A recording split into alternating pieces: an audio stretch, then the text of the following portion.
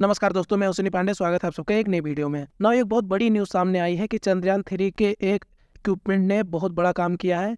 काम क्या है? ऑक्सीजन ढूंढ निकाला है। अब देखो ऑक्सीजन ढूंढ निकाला है, इसके पीछे बहुत बड़ा रीजन ये है कि अगर ऑक्सीजन वहाँ पे अवेलेबल है, इसका मतलब है कि वहाँ पे जीवन भी हो सकता है। इसके अलावा और भी बहुत सी चीज़ें हैं जो वहाँ पे अब पॉसिबल हो सकती हैं। चंद्रयान थ्री के प्रज्ञान रोवर में एक यंत्र लगा है, जिसको हम कहते हैं लिप्स लिप्स होता है laser induced break down spectroscopy ये क्या करता है? ये एक ऐसी चीज़ है जो बहुत ही स्पीड में जो लेजर लाइट होती है, वो पत्थरों पे या ज़मीन के किसी भी सतह पे बेहद गर्म लेजर लाइट जो होती है, वो डालता है। और उससे क्या होता है कि वहाँ पे प्लाज्मा के आकार में चीज़ें हो जाती हैं मतलब छोटी छोटी चीज़ें पिघल जाती है और पिघलती है तो उससे वो ये पता लगा लेता है कि इसमें क्या चीज़ अवेलेबल हो सकती है। इससे क्या हुआ है कि ये पता चला है कि वहाँ पे ऑक्सीजन है। देखो, चाँद की सतह पर चंद्रयान थ्री का यह पहला इन सीटू एक्सपेरिमेंट था। इसके अलावा अभी हाइड्रोजन की खोज की जा रही है। अगर ऑक्सीजन के बाद हाइड्रोजन भी मिलता है तो चाँद पर पानी बनाना आसान हो जाएगा। और जो लिप्स था या लाई बी एस जिसको बोलते हैं यह चाँद की सतह पर तीव्र गति से लेजर की लाइटें जो है, किरणें जो है,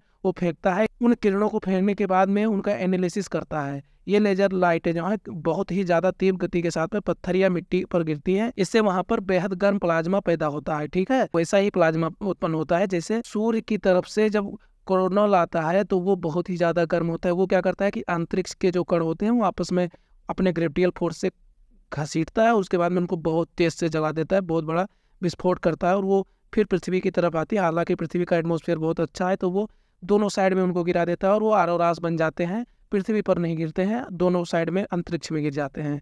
तो वैसे ये जो लिप्स है, इसकी लेजर लाइटें पड़ती हैं उसकी मिट्टी पे तो बहुत ही ज़्यादा तेज़ी से पड़ती है, वहाँ पे प्लाज्मा बना देती है उन चीज़ों को और उसके बाद में उसको एनालिसिस करती है कि इसमें मिल क्या सकता है तो ऑक्सीजन ढूंढ निकालना है। और अब इसके बाद में अगर वहाँ पर हाइड्रोजन भी मिल जाता है तो पानी बनाना आसान हो जाएगा। और अगर ऐसा कुछ है तो ये बात क्लियर है कि वहाँ पर कुछ ना कुछ तो जीव जंतु होंगे ओबियसली एलियन हो सकते हैं या कोई भी हो सकता है। देखो एलियन वाली बात थोड़ा ऐसा लगता है कि ये तो कुछ ज़्यादा ही हो रहा है, लेकिन हो सकता है कि कोई ऐसे जीव हो जो ऐसे सिचुएशन में सर्वाइव कर सकते हो। हालाँकि अभी ये सब खोजा जा रहा है, इसके अलावा आप इस चार्ट में समझ सकते हो कि क्या क्या चीज़ें वहाँ पर मिल रही हैं। इनकी जो मात्रा है कम ज़्यादा हो सकती है लेकिन अगर देखा जाए तो ऑक्सीजन के अलावा यहाँ पे सल्फ़र एलमोनियम कैल्शियम लोहा क्रेडियम टाइटेनियम और सिलिकन ये सब चीज़ें मिल चुकी हैं। बात करने का पर्पस ये कि एक पाकिस्तानी नौजवान एक शहरी का हिंदुस्तान के बारे में क्या ख्याल है? अच्छा तो नहीं होगा। अच्छा ख्याल नहीं है। क्यों सर?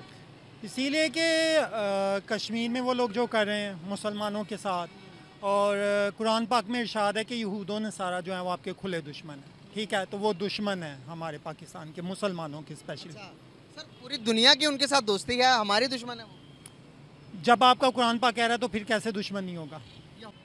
फिर आगे आप समझ सकते हैं कि हमारा टेक्नोलॉजी में पड़ोसी चाँद पर पहुँच गया। हम तो उधर मैं नहीं मानता।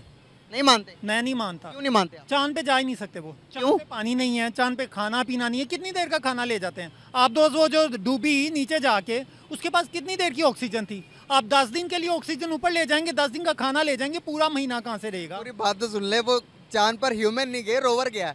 सर्च करने के लिए वो नहीं माना ही नहीं जाता। नहीं माना जाता। नहीं माना जाता। क्यों नहीं माना जाता? दुनिया के मैं तो मैं क्या दूँ मैं चाँद पे रोवर भेज दिया मैंने चाँद पे। मान लेंगे आप? आपने अपनी आँखों से देखा है। आपने अपने सिर्फ़ कानों से सुना वो इतबार कर लिया। आप, आप किस पे मानेंगे? मुझे ये रक्षा चाँद पे पहुँच गया। मान जाएँगे? यार रक्षा कैसे चाँद पे पहुँच सकता है? फिर आप मुझे बता कैसे चाँद पे पहुँच गया? कोई प्रूफ मैं प्रूफ देता हूँ। कैसे? आप बताएँ क्या प्रूफ चाहिए? मुझे ये चाहिए कि मैंने अपनी आँखों से देखा हो कि वो पूरा सफ़र यूँ तय कर रहा है और ऊपर चाँद पे गया वो। आपकी रोशनी आपकी आँखों के पास इतनी पावर है कि आप इधर से आप कुछ तो कुछ मिनट कुछ किलोमीटर देख सकते तो फिर आपका अपना जवाब है ये। आप हवा को देख सकते हैं। आप आप हवा को देख सकते हैं। हवा को नहीं देख सकते। तो आप कैसे मानेंगे कि हवा भी है? न तो हवा है। अमेरिका चाँद पर नहीं।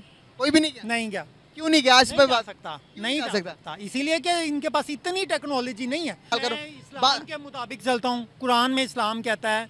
अल्लाह इस्लाम तो कहता आप आप इस्लाम का मोमिन जब तक अपनी आँख से कोई चीज़ देख ले ना ले उस पर यकीन ना करे। टेक्नोलॉजी में आई सुना ना? वी एफ़ आप बेबी टेस्ट ट्यूब होता है। अच्छा। वो भी अल्लाह पाक के हुक्म से ही चलता है कि बच्चा नॉर्मल हो या ना हो और वो ग्रोथ हो या ना हो।